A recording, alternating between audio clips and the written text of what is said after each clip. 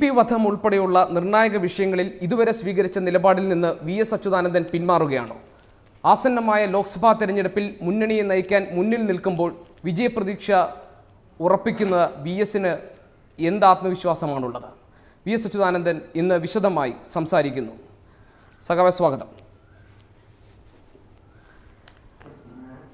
T P Chandrasekharan വധ നടന്ന ശേഷം മലയാളിയുടെ മനസ്സിൽ ഒരിക്കലും മാഞ്ഞു പോകാത്ത ചില രംഗങ്ങളുണ്ട്. അതിലൊന്ന് രമയെ കെട്ടിപ്പിടിച്ച് വി എസ് വിതുമ്പുന്നതാണ്. അതിനുശേഷം പിന്നീട് ഇങ്ങോട്ട് എപ്പോഴും വി എസിന് ഉറച്ച ഒരു നിലപാടുണ്ടായിരുന്നു ഈ വിഷയത്തിൽ. പാർട്ടി ചില വിശദീകരണങ്ങൾ നൽകിയപ്പോൾ അന്നം കഴിക്കുന്നവരാരും ഇത് വിശ്വസിക്കില്ല എന്ന് വി എസ് പറഞ്ഞു. ആ വി എസ് ആണ് ഒരൊറ്റ രാത്രി കൊണ്ട് ഇതെല്ലാം മറന്ന് പാർട്ടിയുടെ അന്വേഷണം തൃപ്തികരമായിരുന്നുവെന്നും പാർട്ടി ഉചിതമായ നടപടി സ്വീകരിച്ചു കഴിഞ്ഞിട്ടുണ്ടെന്നും ഇതെല്ലാം ഇതിൽ ഇനിയൊരു അവ്യക്തതയുടെ ഭാഗമില്ല ഇത് രമ അംഗീകരിക്കണമെന്നും പറയുന്നത്. പലരും ചോദിക്കുന്നു. പലർക്കും സംശയമുണ്ട്. വി എസിന് ഇത് എന്തു പറ്റി ഇത് യഥാർത്ഥ വസ്തുതകളാണ്. ഈ സംഭവത്തെ തുടർന്ന് എനിക്കും ഈ ആക്ഷേപം വന്നപ്പോൾ സംശയമുണ്ടായി. ആ സംശയം പാർട്ടിയുടെ എന്റെ പാർട്ടിയുടെ അഖിലേന്ത്യാ സെക്രട്ടറി പ്രകാശ് കാരാട്ടിന്റെ നോട് ഞാൻ നേരിട്ട് പറഞ്ഞു. നിരവധി കത്തുകൾ അയച്ചു പറഞ്ഞു. ഇത്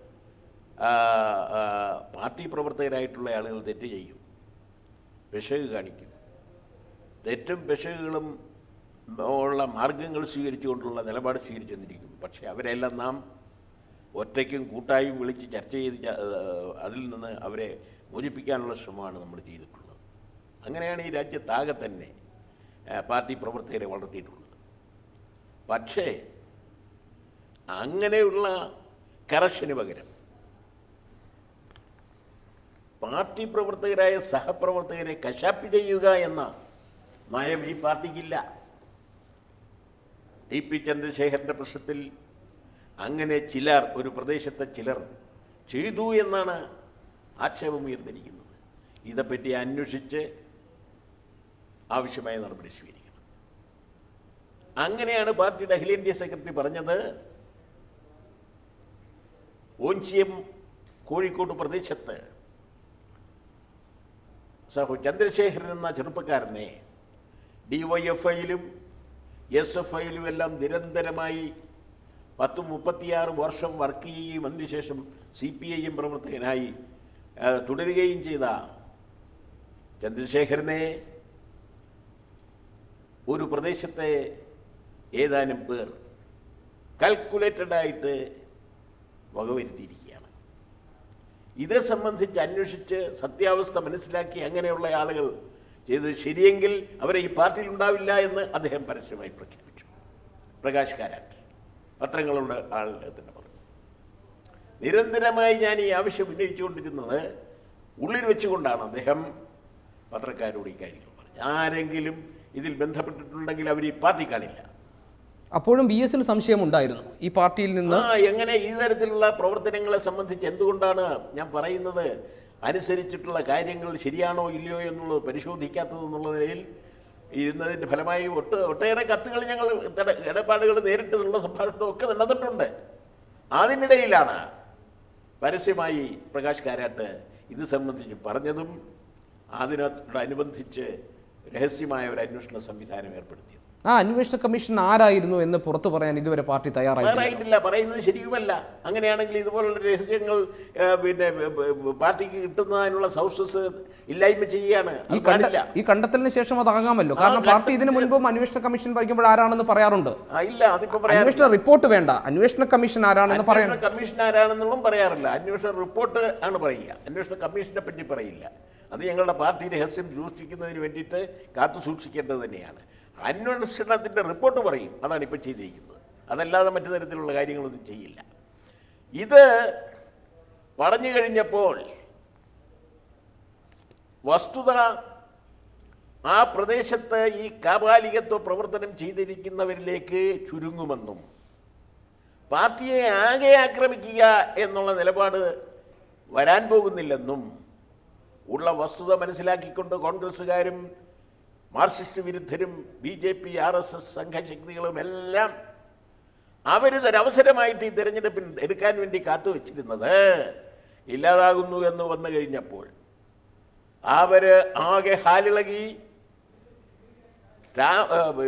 ജി പി ചന്ദ്രശേഖരന്റെ ബന്ധുക്കളെക്കാൾ ഏറെ വാശിയോട് കൂടിയിട്ട് രംഗത്ത് വന്നു എന്നുള്ളതാണ് നാം കണ്ടത്. വി എസ് പഴയ കാര്യങ്ങൾ മറന്നു പോകുന്നുണ്ടോ?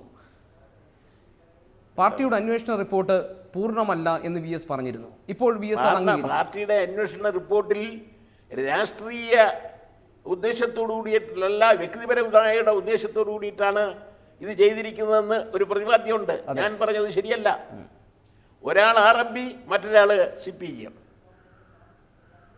C P I M അംഗമായിരുന്ന ഒരാൾ ആർ എം പിക്കാരനെ വകവരുത്തുകയാണ്. ഇതെങ്ങനെ വ്യക്തിപരമായ വിരോധ ആണെന്ന് പറയുന്നത്? അതുകൊണ്ട് അത് ഞാൻ അംഗീകരിക്കുന്നില്ല. രാഷ്ട്രീയ ഉദ്ദേശത്തോടുകൂടി തന്നെ ചെയ്തി ചെയ്തിരിക്കുന്നതാണ്. അപ്പോൾ ആ നിലയിൽ അംഗീകരിച്ചുകൊണ്ടാണ് ഞാൻ ഇതിനെ സംബന്ധിച്ച് പറയുന്നത്. ഈ ചന്ദ്രശേഖരൻ തന്നെ ജീവിച്ചിരുന്നപ്പോൾ ജീവിച്ചിരിക്കുന്ന കേരള മുഖ്യമന്ത്രി ഉമ്മൻചാണ്ടിയോടും മുല്ലപ്പള്ളി രാമചന്ദ്രനോടും നേരിട്ട് തന്നെ എന്നെ വകവരുത്തുന്നതിന് വേണ്ടിയിട്ടുള്ള ശ്രമം ചില ഭാഗങ്ങളിൽ നിന്നുണ്ടായിട്ടുണ്ട്. ആവശ്യമായ സംരക്ഷണം നൽകണം എന്ന് അദ്ദേഹം നേരിട്ട് ഇവരോട് പറഞ്ഞതാണ്. അവരെന്ത് ചെയ്തു? ഇതേ ചന്ദ്രശേഖരൻ വി എസ് അച്യുതാനന്ദനെയും വന്ന് നേരിട്ട് കണ്ട് തനിക്ക് വധഭീഷണിയുണ്ടെന്ന് പറഞ്ഞിരുന്നില്ലേ? ഉണ്ടെന്നും ഞാനത് പിന്നെ മുഖ്യമന്ത്രിയെയും ആഭ്യന്തര സഹമന്ത്രിയെയും വിവരമറിയിച്ചിട്ടുണ്ടെന്നും ഞാൻ എന്നോട് പറഞ്ഞു. ശരി വി എസ് ഒരു കാര്യം. മുഖ്യമന്ത്രിയോടും ആഭ്യന്തര സഹമന്ത്രിയോടും നേരത്തെ തന്നെ ടി പി ചന്ദ്രശേഖരൻ വന്ന് വധഭീഷണി ഉണ്ട് എന്റെ ജീവന് ഭീഷണിയുണ്ട് എന്ന് അറിയിച്ചിരുന്നു. അതോടൊപ്പം തന്നെ വി എസിനെയും നേരിട്ട് കണ്ട് ഈ കാര്യങ്ങൾ പറഞ്ഞു. സ്വാഭാവികമായി വി എസിനോട് ഇത് പറയുമ്പോൾ സി പി ഐ എമ്മിൽ നിന്നൊരു വിഭാഗമാണ് തന്നെ ശത്രുവായി കാണുന്നതെന്നും വധഭീഷണിയുള്ളത് സി പി ഐ എമ്മിൽ നിന്നാണെന്നുമാണ് ചന്ദ്രശേഖരൻ പറയാൻ ഉദ്ദേശിച്ചിട്ടുണ്ടാവുക. അപ്പോൾ ഒരു സംരക്ഷണം ഉറപ്പുകൊടുത്തിരുന്നു അതൊന്നും പറഞ്ഞില്ല. പറഞ്ഞില്ല. ഉണ്ട് വധഭീഷണിയുണ്ട് എന്നുള്ളത് അന്വേഷിച്ച് പിന്നെ അതിന് സംരക്ഷണം കൊടുക്കേണ്ടത് ഗവൺമെന്റുകളുടെ ചുമതലയാണ്. കേന്ദ്ര സംസ്ഥാന ഗവൺമെന്റുകളുടെ ചുമതലയാണ് ആ നിലയിലാണ് കൊടുത്തത്. ഇതിൽ വി എസ് എത്തിയിട്ടുള്ള നിഗമനം പാർട്ടിയുടെ ഭാഗമായി നിന്നിരുന്ന കെ സി രാമചന്ദ്രന് ടി പി ചന്ദ്രശേഖരനുമായി ഉണ്ടായുള്ള രാഷ്ട്രീയമായ വിരോധത്തിന്റെ പേരിൽ കൊട്ടേഷൻ സംഘത്തെ നിയോഗിച്ച് വകവരുത്തി ബാക്കി ആർക്കും ഇതിൽ പങ്കില്ല. പാർട്ടിയിലെ അതൊന്നും എനിക്കറിഞ്ഞുകൂടാ. എനിക്കറിയാൻ കഴിയുന്നത് എന്റെ ജനറൽ സെക്രട്ടറി ഇത് സംബന്ധിച്ച് കിട്ടിയ വിവരം എന്നോട് പറഞ്ഞതാണ്. അതനുസരിച്ച് സംസ്ഥാന സെക്രട്ടറി വിജയനോട് പറഞ്ഞു ഇവർ ഇവർക്കെതിരായി നടപടിയെടുക്കാൻ. ശരി ബാക്കിയൊന്നും അറിയില്ല. പക്ഷേ ഇതിനെ അംഗീകരിക്കുന്നു വി എസ്. ഇതിൽ സംശയം ഇതുണ്ട് ഇതിന്റെ ഇത് ഇതിന് ഇതിൽ നിന്ന് വ്യക്തമാകുന്നത് ഇതിൽ നിന്ന് ജനങ്ങൾ സത്യമായിട്ടുള്ള വസ്തുത മനസ്സിലാക്കേണ്ടത് എല്ലാ പേരെയും പോലെ ലാഘവബുദ്ധിയോടുകൂടി ഈ പ്രശ്നം കാണുകയല്ല.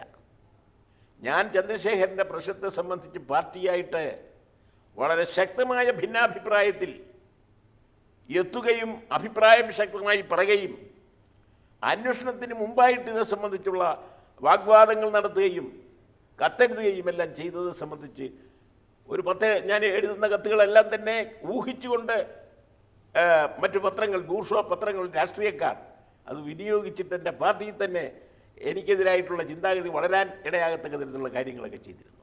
അതൊന്നും ഞാൻ ഊഹിച്ചില്ല.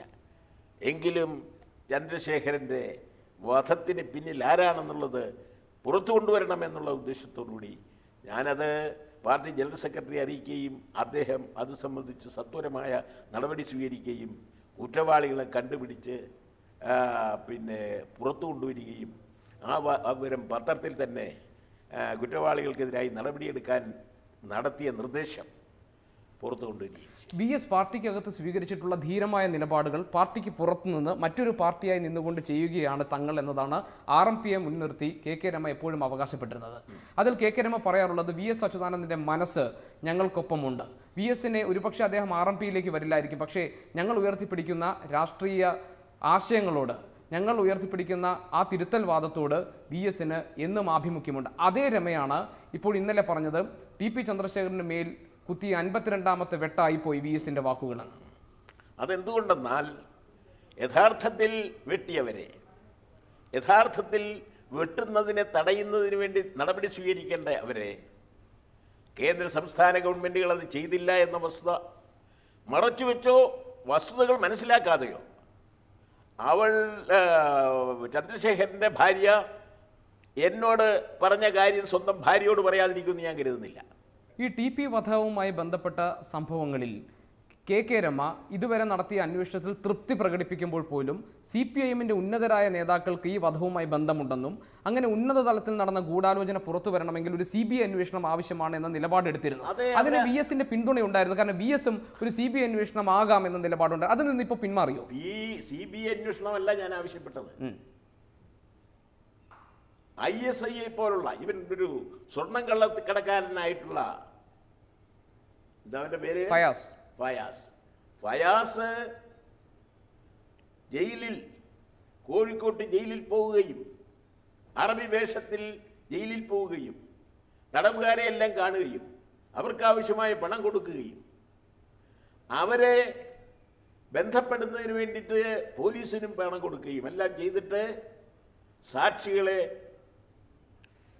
തനിക്കനുകൂല തങ്ങളുടെ കേസിന് അനുകൂലമായിട്ട് തിരിക്കുന്നതിന് വേണ്ടിയിട്ടുള്ള പ്രവർത്തനങ്ങളെല്ലാം ചെയ്തത് ഫയാസാണ് വി എസ് ഞാൻ ചോദിക്കുന്നത് ഇപ്പോൾ കെ കെ രമയുടെ ആവശ്യം സി ബി ഐ അന്വേഷണം എന്ന് പറയുന്നത് സി പി ഐ എമ്മിന്റെ ഉന്നത നേതാക്കൾക്ക് ടി പി വധത്തിൽ ബന്ധമുണ്ടോ എന്ന കാര്യം അത് അന്വേഷിക്കട്ടെ. അന്വേഷിക്കട്ടെ എന്ന്. അതിന് യാതൊരു അന്വേഷണത്തെയും ഞാൻ അല്ല അതല്ല ഞാൻ ചോദിക്കുന്നത് വി എസ് രമയോട് പറയുന്നത് പാർട്ടി നടത്തിയിട്ടുള്ള അന്വേഷണം അത് പഴുതുകൾ അടച്ചിട്ടുള്ളതാണ് അത് രമ അംഗീകരിക്കുകയും വിശ്വസിക്കുകയും വേണമെന്നാണോ?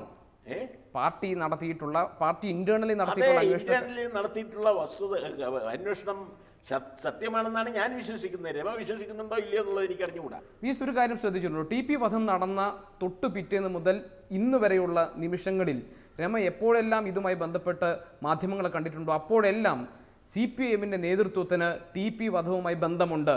ഉന്നത തലങ്ങളിൽ ഗൂഢാലോചന നടന്നു എന്ന നിലപാടിൽ അവർ മാറ്റം വരുത്തിയിട്ടേ ഇല്ല. അതെ അത് അവരുടെ സംശയം സ്വാഭാവികമായിട്ടും അവർ പറഞ്ഞിട്ടുള്ളതിൽ ഞാനൊരു തെറ്റും കാണുന്നില്ല.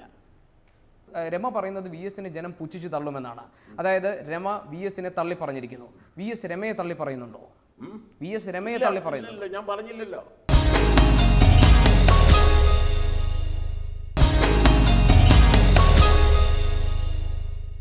ലാവ്ലിൻ കേസിൽ പിണറായി വിജയൻ അടക്കമുള്ളവരെ കുറ്റവിമുക്തരാക്കിയ സി ബി ഐ പ്രത്യേക കോടതിയുടെ വിധിയെ വി എസ് പൂർണമായും അംഗീകരിക്കുന്നു. അല്ലേ? ഞാൻ അത് സംബന്ധിച്ച് എന്റെ ജനറൽ സെക്രട്ടറി ഇങ്ങനെ ഒരു തീരുമാനമാണ് പാർട്ടി എടുത്തിരിക്കുന്നത് എന്ന് പറഞ്ഞു.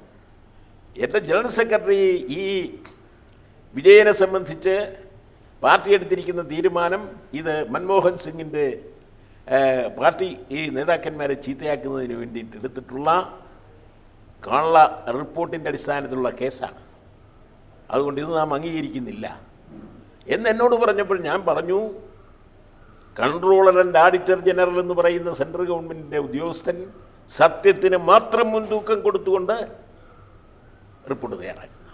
അപ്പോൾ പറഞ്ഞു യെസ് അങ്ങനെ അങ്ങനെയാകുമ്പോൾ പോളിറ്റ് ബ്യൂറോയുടെ തീരുമാനം മാനിക്കുന്നില്ല എന്നുള്ള അടിസ്ഥാനത്തിൽ നടപടിയെടുക്കുക നടപടിയെടുത്തോളൂ നിങ്ങൾ എന്നെ പോളിറ്റ് ബ്യൂറോയിൽ നിന്ന് മാറ്റണമെന്നുണ്ടെങ്കിൽ മാറ്റിക്കോളൂ. ഏതെങ്കിലും നിലവാരത്തിലുള്ള കമ്മിറ്റിയിലോ ഇല്ലെങ്കിൽ ഒരു കമ്മിറ്റിയിലോ ഇല്ലാത്ത വിധത്തിലുള്ള തീരുമാനം എടുക്ക എടുത്തോളൂ. എനിക്ക് യാതൊരു എതിർപ്പുമില്ല അവർ പറഞ്ഞു ഞങ്ങൾ പോളിറ്റ് ബ്യൂറോയിൽ നിന്ന് ഒഴിവാക്കുന്നു സെൻട്രൽ കമ്മിറ്റിയിൽ നിന്ന്. അങ്ങനെ ഞാൻ സെൻട്രൽ കമ്മിറ്റിയിൽ നിൽക്കുകയാണ്. എസ് എൻ സി ലാവലിന്റെ പറഞ്ഞു അതനുസരിച്ച് എന്നെയാണ് ശിക്ഷിച്ചത്. അതിനു പകരം പോളിറ്റ് ബ്യൂറോയിലേക്ക് എടുത്തത് കുറ്റവാളിയായിട്ട് C N D G report ചൂണ്ടിക്കാണിക്കുന്നയാളിനെയാണ്. അവരെടുത്തത് പോളിറ്റ് ബ്യൂറോ പോളിറ്റ് ബ്യൂറോ എടുത്തത്. അത് കഴിഞ്ഞിട്ട് ഉണ്ടായത് കീഴ്ക്കോടതി അത് സംബന്ധിച്ച് അന്വേഷണം ശരിക്കും നടത്തി കുറ്റവാളികൾക്കെതിരായ ശിക്ഷാ നടപടികൾ എടുക്കാൻ തുനിയാതെ അവരെ മുഴുവൻ വെറുതെ വിട്ടു. വെറുതെ വിട്ടപ്പോൾ കുറ്റവാളികൾ നിരപരാധികളാണെന്നല്ലേ വന്നിരിക്കുന്നത്. നിരപരാധികളാണെന്നൊരു കോടതി കീഴ്ക്കോടതി ആവട്ടെ പറഞ്ഞു കഴിഞ്ഞാൽ അവർ അപ്പോഴും കുറ്റവാളികളാണെന്ന് പറയണോ? നിരപരാധികളാണെന്ന് വന്നു കഴിഞ്ഞപ്പോൾ ശരി ഞാൻ എന്റെ ആക്ഷേപം പിൻവലിക്കുന്നു. മുകളിലും കോടതിയുണ്ടല്ലോ എന്നൊരു വാചകം പറഞ്ഞിട്ടുണ്ട്. അത് വരട്ടെ എന്നുള്ളതാണ് അതിന്റെ അർത്ഥം. അതായത് പല വിഷയങ്ങളിലും വി എസ് ഇടപെട്ട് കഴിയുമ്പോൾ വി എസിന്റെ ഒരു അഭയ കേന്ദ്രം എന്ന് പറയുന്നത് നീതിന്യായ പീഠമാണ്. അവിടെയാണ് വി എസ് വിശ്വാസം അർപ്പിക്കുന്നത്. പക്ഷേ ടി പി ചന്ദ്രശേഖരൻ വധക്കേസുമായി ബന്ധപ്പെട്ട് ഇപ്പോൾ കോടതിയിൽ നിന്ന് വിധി വന്നിരിക്കുന്നത് ഇപ്പോൾ പാർട്ടി അന്വേഷണത്തിൽ പുറത്താക്കപ്പെട്ട കെ സി രാമേന്ദ്രനെതിരെ മാത്രമല്ല കുഞ്ഞനന്ദനെതിരെ ഉണ്ട് ട്രൗസർ മനോജിനെതിരെ ഉണ്ട്. ഇവരെ ഒന്നും പാർട്ടി അന്വേഷണത്തിൽ കുറ്റക്കാരായി കാണുന്നില്ല. ഈ ഘട്ടത്തിൽ ബി എസ് പാർട്ടിക്കൊപ്പം നിൽക്കുന്നു. പക്ഷേ ബാക്കി എല്ലാ സമയങ്ങളിലും കോടതിക്കൊപ്പം നിൽക്കുന്നു. അതെന്തുകൊണ്ടാണ് കോടതി കോടതിയുടെ ഒപ്പം അല്ല നിന്നിട്ടുള്ളത്. കോടതി എന്ന് പറയുന്നത് ഇതിനു വേണ്ടി പ്രത്യേകമായി രൂപീകരിച്ച ഒരു കോടതിയാണ്. ഇതിനു വേണ്ടി പ്രത്യേകമായി രൂപീകരിച്ചൊരു കോടതിയുടെ അഭിപ്രായമാണ് അയാൾ നിരപരാധിയാണ് എന്നുള്ള വിധി. മറ്റത് സാധാരണ കോടതിയാണ്. സാധാരണ കോടതിയുടെ അഭിപ്രായത്തെ ഈ പ്രത്യേക കോടതിയുടെ അഭിപ്രായം പോലെ സ്വീകരിക്കാൻ കഴിയുന്നതല്ല. പ്രത്യേക കോടതി ഇത് പാർട്ടി അന്വേഷിച്ച ശരിക്കും വ്യക്തമായ വിവരം കിട്ടിയ പാർട്ടിക്ക് വിശ്വാസമുള്ളതിന്റെ അടിസ്ഥാനത്തിലാണ് പിന്നെ അയാളെ ആണ് കശാപ്പ് ചെയ്തത് പിന്നെ പിന്നെ ഇവരെ ഉപയോഗിച്ച്. കൊട്ടേഷൻ കൊട്ടേഷൻ സംഘത്തെ ഉപയോഗിച്ചിട്ട് രാമചന്ദ്രൻ വകവരുത്തിയതാണ് എന്നുള്ള റിപ്പോർട്ട്. അങ്ങനെയാണ് കിട്ടിയത്. കൂടുതൽ ആളുകൾ കിട്ടിയില്ല. കൂടുതൽ ആളുകൾ ഉണ്ടെങ്കിൽ അത് എന്നെ അറിയിക്കും. അതനുസരിച്ചുള്ള നടപടികൾ അതനുസരിച്ച് സ്വീകരിക്കും. ഇപ്പോൾ കിട്ടിയതിന്റെ അടിസ്ഥാനത്തിൽ ഞാൻ വിശ്വസ്തനാണ്. എന്റെ ജനറൽ സെക്രട്ടറി പാർട്ടിക്ക് നൽകിയ ഉറപ്പ് നടപ്പിലാക്കി എന്നുള്ള വിശ്വാസത്തിലാണ് ഞാൻ മറ്റുള്ള ആളുകളെ എന്നെപ്പോലെ തന്നെ വിശ്വാസം അർപ്പിക്കാൻ വേണ്ടിയിട്ട് ശ്രമിച്ചത്. ഗാഡ്ഗിൽ കമ്മിറ്റി റിപ്പോർട്ടിലെ നിർദ്ദേശങ്ങൾ പരിസ്ഥിതി സംരക്ഷണത്തിന് അനിവാര്യമാണെന്നും അത് നടപ്പാക്കപ്പെടേണ്ടതാണ് എന്ന് എന്നുള്ള നിലപാട് വി എസിനുണ്ടായിരുന്നു.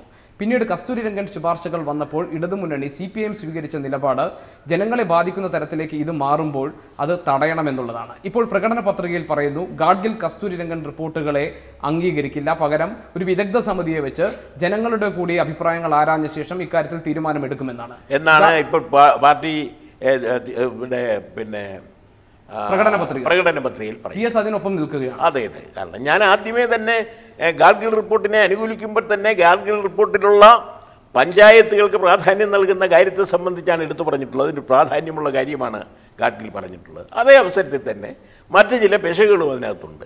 അത് അത് അത് പിന്നെ ചൂണ്ടിക്കാണിച്ചുകൊണ്ട് കസ്തൂരി രംഗൻ റിപ്പോർട്ട് വരികയും കസ്തൂരി രംഗൻ റിപ്പോർട്ട് ഗാഡ്ഗിൽ റിപ്പോർട്ടിനെ നഖശിഖാന്തം എതിർത്തുകൊണ്ട് തള്ളത്തക്ക തരത്തിലുള്ള റിപ്പോർട്ടാണ് വന്നത്. അതുകൊണ്ട് രണ്ടും സ്വീകാര്യമല്ല എന്ന് ഞാൻ പിന്നീട് പറഞ്ഞു. ഇടതുപക്ഷത്ത് നിന്നുകൊണ്ട് ഇടതു സ്വഭാവം പ്രകടിപ്പിക്കുകയും ഇടതു നിലപാടിൽ ഉറച്ചു നിൽക്കുകയും ചെയ്ത ഒരു പാർട്ടി മുന്നണി വിട്ടിരിക്കുന്നു ആർ എസ് പി. അതിന് പ്രധാന കാരണമായി പറഞ്ഞത് വി എസ് അച്യുതാനന്ദൻ ഈ വിഷയത്തിൽ ഒരു ഉറച്ച നിലപാടെടുത്തില്ല കാരണം എപ്പോഴും വി എസിനോട് ആത്മബന്ധം പുലർത്തിയിരുന്ന നേതാവായിരുന്നു N K Premachandran R S P എന്ന പാർട്ടിയും. പക്ഷേ വി എസ് വേണ്ട രീതിയിൽ ഇടപെട്ടില്ല. അങ്ങനെ ഇടപെട്ടിരുന്നുവെങ്കിൽ അപമാനിതരായി പുറത്തു പോകേണ്ട സാഹചര്യം അവർക്കുണ്ടാകില്ലായിരുന്നു എന്നാണ്. എന്നാണ്. അങ്ങനെയാണെങ്കിൽ ആ പ്രേമചന്ദ്രനോട് നിങ്ങൾ ചോദിച്ചു നോക്കൂ ഒരു പ്രാവശ്യമെങ്കിലും ഈ ചർച്ചയുടെ ഇടയിൽ വി എസിനെ ഈ കാര്യം അറിയിച്ചൊന്ന്. എൽ ഡി എഫിന്റെ ശക്തമായ വക്താവായിട്ട് പത്ത് മുപ്പത് കൊല്ലത്തിലേറെയായി പ്രേമചന്ദ്രൻ പ്രവർത്തിച്ചുകൊണ്ടിരിക്കുന്ന അറിയാവുന്ന വി എസ് അച്യുതാനന്ദനെ ഈ കാര്യം ഒന്ന് അറിയിക്കേണ്ടതായിരുന്നു. വാക്കൗട്ട് ചെയ്തും അതിനുശേഷം ആറ് ഏ, പിന്നെ കോൺഗ്രസിലും ചേരുന്നതിന് മുമ്പ് ഒരു വാക്ക് വി എസിനോട് കൂടെ പറയേണ്ടതായിരുന്നു എന്നുള്ള നിലയിൽ ചിന്തിച്ചിരുന്നോ പ്രേമചന്ദ്രൻ?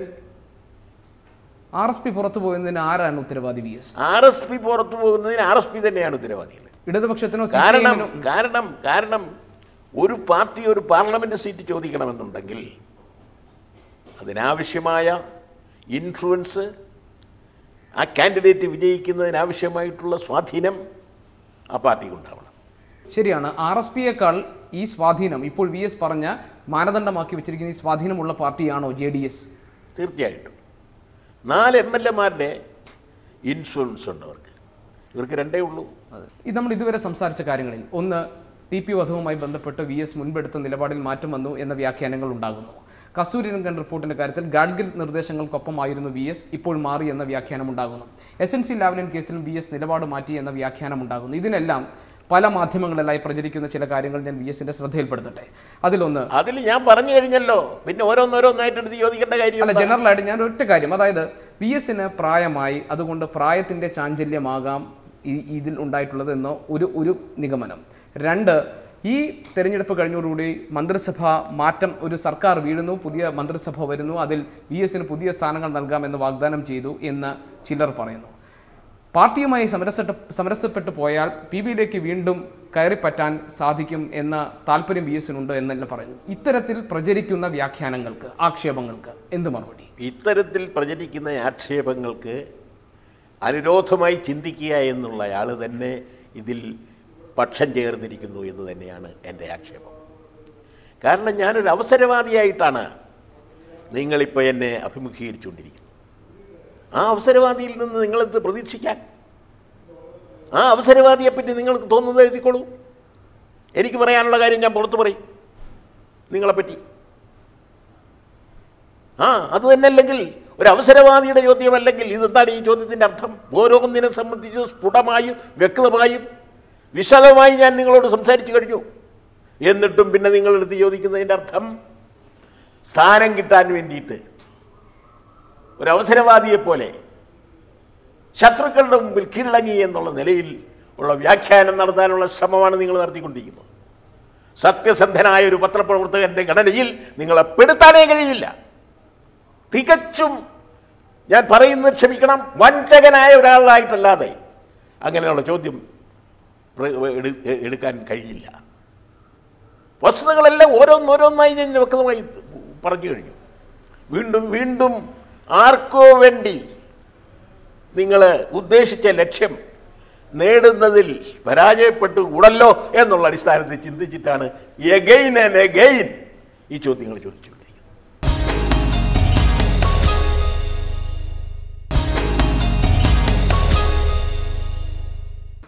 ഈ ആർ എസ് പി പുറത്തു പോയതിന്റെ കാരണങ്ങൾ വി എസ് പറഞ്ഞല്ലോ. ഇന്നിപ്പോൾ എ എസ് ഇസ് ചില വെളിപ്പെടുത്തലുകൾ നടത്തിയിട്ടുണ്ട്. അതായത് സർക്കാരിനെതിരെയായ രാപ്പകൽ സമരം അവസാനിപ്പിച്ചപ്പോൾ വി എസ് എന്നെ ഫോണിൽ ബന്ധപ്പെട്ടു. എന്നിട്ട് പറഞ്ഞു ഇത് നിങ്ങൾ ചോദ്യം ചെയ്യണം. എന്തുകൊണ്ട് ഈ സമരം അവസാനിപ്പിച്ചു എന്ന് ചോദിക്കണം എന്ന് വി എസ് ഫോണിൽ ബന്ധപ്പെട്ട് പറഞ്ഞു. ആരോട്? എ അസീസ് പറഞ്ഞതാണ്. ഇന്നിപ്പോൾ പുറത്തു വന്നുകൊണ്ടിരിക്കുന്ന വാർത്ത. അതിപ്പോൾ പോയതിന് ശേഷം അതിനെ ന്യായീകരിക്കാൻ വേണ്ടിയിട്ട് ഈ നേതാക്കന്മാർ അസിസിനെ പോലുള്ള നേതാക്കന്മാർ പറയുന്നത് അത് ആ നിലയിൽ ബുദ്ധിയുള്ളവരാരും എടുക്കില്ല. എന്നേ എനിക്ക് പറയാനുള്ളൂ. സോളാർ വിഷയവും ഞാൻ നിങ്ങളോട് നേരത്തെ സംസാരിച്ചപ്പോൾ നിങ്ങൾ ഈ തരത്തിൽ എടുത്തെടുത്ത് ചോദിക്കുന്നു എന്നുള്ളത് കൊണ്ടാണ് ഒരു കറസ്പോണ്ടന്റിനെ സംബന്ധിച്ച് എനിക്ക് അങ്ങനെ പറയേണ്ടി വന്നത്. ഞാനത് പിൻവലിക്കുന്നു. ഖേദം പ്രകടിപ്പിക്കും സോളാർ വിഷയവുമായി ബന്ധപ്പെട്ട് സരിതയും ആയി ബന്ധപ്പെട്ടിട്ടുള്ള കാര്യങ്ങളിലെല്ലാം എപ്പോഴും ഉമ്മൻചാണ്ടി സർക്കാരിനെ ക്രൂശിക്കാറുണ്ട്. പ്രതിസ്ഥാനത്ത് നിർത്താറുണ്ട് പക്ഷേ ഇപ്പോൾ സരിത നടത്തിയിട്ടുള്ള വെളിപ്പെടുത്തൽ ഞെട്ടിക്കുന്നതാണ്. കാരണം യു ഡി എഫ് സ്ഥാനാർത്ഥികളെ തോൽപ്പിക്കാൻ വേണ്ടി എൽ ഡി എഫ് നേതാക്കൾ തന്നെ സമീപിച്ചിരുന്നു എന്നാണ് സരിതയുടെ പുതിയ വെളിപ്പെടുത്തൽ. സംബന്ധം. അവൾ ഇതേപോലുള്ള കാര്യങ്ങൾ എന്തും പറയാൻ കൂട്ടാക്കാത്തവളാണെന്ന് മാത്രമല്ല കേന്ദ്ര സംസ്ഥാന മന്ത്രിമാർക്ക് ലൈംഗിക ആസ്വാദ്യത്തിന് എല്ലാ സൗകര്യങ്ങളും ചെയ്തു കൊടുത്തതിന് ശേഷം ഇപ്പോൾ ഓരോ ടൈമിലും പണം പിടുങ്ങിക്കൊണ്ടിരിക്കുകയാണ്. തൃപ്തിയായോ തൃപ്തിയായോ എന്ന് ചോദിച്ചിട്ടാണ് അവരെ ഓരോ പ്രാവശ്യവും പണം കൊടുക്കുന്നത്. പണത്തിന് വേണ്ടി ഇത്ര ഹീരമായ നിലയിൽ പ്രവർത്തിക്കുന്ന ആ സ്ത്രീയെ സംബന്ധിച്ച് മറ്റൊന്നും എനിക്ക് പറയാനില്ല. കേരളത്തിലെ തെരഞ്ഞെടുപ്പ് പ്രചാരണത്തിന്റെ ചുമതല ശ്രീ വി എസ് അച്യുതാനന്ദനാണോ? അല്ല ഞങ്ങളൊരു ടീമാണ് വർക്ക് ചെയ്തുകൊണ്ടിരിക്കുന്നത് ഞങ്ങളൊരു ടീം പാർട്ടിയുടെയും ഇടതുപക്ഷത്തിന്റെയും നേതാക്കന്മാരായ ഒരു ടീമാണ് അതിനുവേണ്ടി വർക്ക് ചെയ്തുകൊണ്ടിരിക്കുന്നത് തങ്ങളുടെ പ്രചാരണ യാത്രയിൽ നിന്ന് വടക്കൻ മേഖലകൾ ഒഴിവാക്കപ്പെട്ടിട്ടുണ്ടല്ലോ. പ്രത്യേകിച്ച് പാർട്ടിയുടെ അഭിമാന പോരാട്ടം നടക്കുന്ന വടകരയിലേക്ക് വി എസ് പോകുന്നില്ല. കണ്ണൂർ ഭാഗത്തേക്ക് വി എസ് പോകുന്നില്ല എന്നാണ് ഞാൻ മനസ്സിലാക്കുന്നത്. തൃശ്ശൂർ എല്ലാം തന്നെ ഈ ഇരുപത് സീറ്റുകളെ ഞങ്ങൾ പങ്കിട്ടെടുത്തിട്ട് ഒരു പത്ത് എട്ട് പത്ത് സീറ്റ് ഞാൻ പോകണം എന്നുള്ള അടിസ്ഥാനത്തിൽ തീരുമാനിച്ച് മലപ്പുറം പൊന്നാനി മലബാർ മേഖലയിലെ സീറ്റ്. അതുപോലെ തന്നെ പിന്നെ തൃശ്ശൂരിൽ പോകുന്നുണ്ട്. പോകുന്നുണ്ട്. മറ്റേ ഇടുക്കി. ഇടുക്കി പോകുന്നുണ്ട്. മറ്റേ ഇവിടെ പാലക്കാട്. പാലക്കാട്. അതുപോലെ തന്നെ ഇപ്പറേ റിസർവേഷൻ സീറ്റിലെ വാ വാഴു ഓ പാലക്കാടിന്റെ അടുത്ത് തന്നെയുള്ളൊരു കോൺസ്റ്റിറ്റ്യൂഷൻ ആലത്തൂർ. ആലത്തൂർ. ഞാൻ പോകുന്നുണ്ട്. വി എസ് ഈ അടുത്ത കാലത്ത് നമ്മൾ വളരെയധികം ചർച്ച ചെയ്ത വിഷയമാണ് മാതാ അമൃതാനന്ദമയി മഠത്തിനെതിരെ ഉയർന്നു വന്നിട്ടുള്ള ആക്ഷേപങ്ങളും ആരോപണങ്ങളും എല്ലാം പാർട്ടി ചാനലായ കൈരളിയിൽ ഗെയിൽ ട്രേഡ്വെലിന്റെ അഭിമുഖം പുറത്തു വന്നു. സി പി ഐ എം പരസ്യമായി തന്നെ ഇക്കാര്യത്തിൽ നിലപാടെടുത്തു. സി പി എമ്മുമായി ബന്ധപ്പെട്ട് ഇടത് സ്വഭാവമുള്ള സാംസ്കാരിക സംഘടനകളെല്ലാം രംഗത്ത് വന്നു. പക്ഷെ ബി എസ് മാത്രം വ്യക്തമായൊരു നിലപാട് പറഞ്ഞില്ല. അതെന്താണ്? ഞാനതിൽ അവരെ ഒരു പാവപ്പെട്ട കമ്മ്യൂണിറ്റിയിലെ ഒരു വിശ്വാസക്കാരി എന്നുള്ള അടിസ്ഥാനത്തിൽ. അവരെ സംബന്ധിച്ച് അവരുടെ ആത്മീയ ചിന്താഗതിയുടെ അടിസ്ഥാനത്തിൽ പലരും അവരെ ഒരു ഒരു ഒരു ഒരു ഒരു ദൂത ദൂത അവന്റെ വിശ്വാസത്തിന്റെ ഒരു ഒരു സംരക്ഷക എന്നുള്ള അടിസ്ഥാനത്തിൽ കണ്ടുകൊണ്ടിരിക്കുന്ന ആളായിട്ടാണ്. വലിയ നമ്പൂരി സമുദായത്തിൽ നിന്നും അതുപോലുള്ള സമുദായത്തിൽ നിന്നും അതുപോലെ തന്നെ പള്ളിയിലെ വിശിഷ്ടന്മാരായിട്ടുള്ള ആളുകളെ പറ്റി എല്ലാം ഓരോ കമ്മ്യൂണിറ്റി ഇങ്ങനെ പൊന്തിച്ചുകൊണ്ടിരിക്കുന്നത് പോലെ ആ തീരദേശത്തെ ഒരു ജനവിഭാഗത്തിന്റെ ഒരു നേതാവായി ആത്മീയ നേതാവായിട്ട് കാണുന്ന ഒരു തീയെ കണ്ടമാനം അങ്ങനെ ആക്ഷേപിക്കുന്നത് ശരിയല്ലെന്നാണ് എനിക്ക് തോന്നിയത്. അല്ലാതെ മറ്റു നിലയിൽ ഈ ഈ തരത്തിലുള്ള ഒരു ഒരു സ്ത്രീ അവിടെ വരികയും താമസിക്കുകയും ആ താമസിച്ചതിന്റെ അടിസ്ഥാനത്തിൽ അവരെ മറ്റു തരത്തിൽ ലൈംഗിക ആവശ്യത്തിന് ഉപയോഗിച്ചു എന്നൊരു അമേരിക്കക്കാരി പറയുന്നു. ഒന്നാമത് അമേരിക്കക്കാർ പറയുന്നത് തന്നെ നമ്മെ അപമഹേളിക്കാൻ വേണ്ടിയിട്ടുള്ള അതാണ് എന്നുള്ളത് പ്രഥമ വീക്ഷണത്തിൽ തന്നെ എടുക്കാം. പക്ഷേ വി എസ് ഇരുപത് കൊല്ലം ഇരുപത് കൊല്ലം മാതാമൃതാനന്ദമയ്ക്കൊപ്പം നിന്ന് അവരെ ശുശ്രൂഷിച്ച് ആത്മീയ നിർവൃതിക്ക് വേണ്ടി ഇവിടെ വന്ന ഒരു സ്ത്രീയാണ് ഗിൽ ട്രെഡ്വെൽ. അവർ എന്നുള്ളത് എങ്ങനെ മനസ്സിലാക്കാൻ കഴിയും? അവരിപ്പോൾ പറയുന്നതെന്നല്ലാതെ നാം വേറൊന്നും അവരെ പറ്റി കേട്ടിട്ടില്ല. അതുകൊണ്ട് എനിക്ക് വിശ്വാസം പക്ഷേ ആശ്രമത്തിൽ നടക്കുന്നുണ്ട് എന്ന് പറയുന്ന കാര്യങ്ങൾ അതിൽ പണത്തിന്റെ തട്ടിപ്പുണ്ട് സാമ്പത്തികമായ ക്രമക്കേടുകൾ ഇതെല്ലാം അന്വേഷണ വിധേയമാക്കേണ്ടതല്ലേ? അതൊന്നും അവരെ സംബന്ധിച്ചിടത്തോളം ശരിയാണെന്ന് എനിക്ക് തോന്നുന്നില്ല. വളരെ കാൽക്കുലേറ്റഡ് ആയിട്ട് അന്യമതത്തിലുള്ള ആളുകൾ ഇതേപോലുള്ള പാവപ്പെട്ട മതങ്ങളിൽ നിന്ന് ഉയർന്നു വരുന്ന ആളുകളെ ഡാം ചെയ്യുന്നതിന് വേണ്ടി ചെയ്യുന്നതും ആയിക്കൂടെ? ഞാൻ അങ്ങനെയാണ് സംശയിക്കുന്നത്. പി എസ് അവസാനമായി ഈ തെരഞ്ഞെടുപ്പിൽ ഇടതുപക്ഷത്തിന് വിജയപ്രതീക്ഷ നൽകുന്ന ഘടകങ്ങൾ എന്തൊക്കെയാണ്?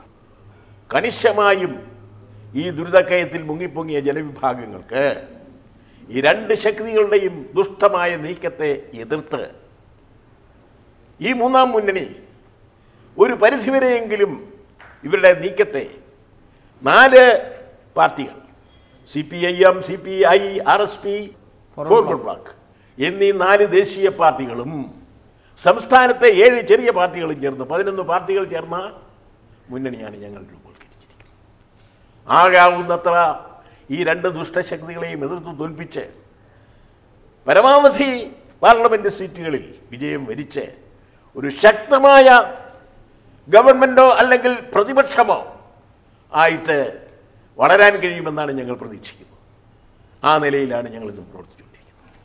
വളരെയധികം നന്ദി സംഭാഷണത്തിൽ.